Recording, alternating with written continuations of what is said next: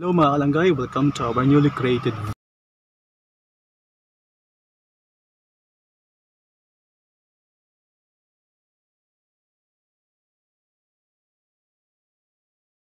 Today, amon ipapakita sa iyo amon mga pipinanhimo sa mga tagsa-tagsa ng mga panimalay.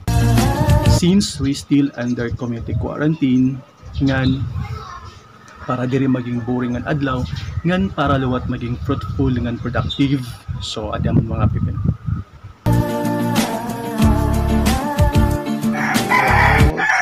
Tayo yun, no? So, ako ay nakapagsaing na. Ito yun. Kapagsaing na ako. Maluluto na siya. Iniinina na lamang. Ito pala ang mga munting manok. Nandito yung mga sili. Marami kaming sili. Ayan yung sili. Oh, marami kaming sili dito sa aming bukirin. So, kung tingnan nyo ang aming paligid, ito ay napakaganda para sa isang nagka-quarantine. Ayan. Ayan. Ayan.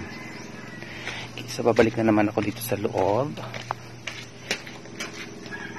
Para naman tawagin ang iba kong mga kasama na naggumagawa din ng kanilang vlog for today.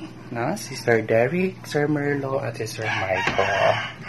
Kaya bubuksan ko muna ang pintuan para makita nyo ang ganda ng tanawin mula dito sa aming bahay kubo. Ayan siya. Ayan. Ayan siya. Okay. So that's all for now guys. Bye. So yan na, since tapos na sa reports, paghimo, pag online, handa ko natin na kabibisihan and pag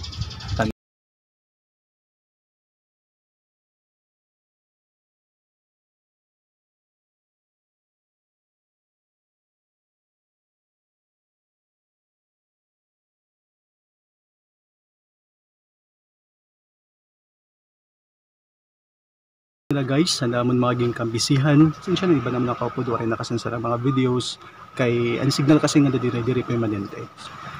If makasansara sa mga videos, i-edit ko nga nagpo-post ko for the next vlog. So mga kalanggay, just subscribe and keep on watching for our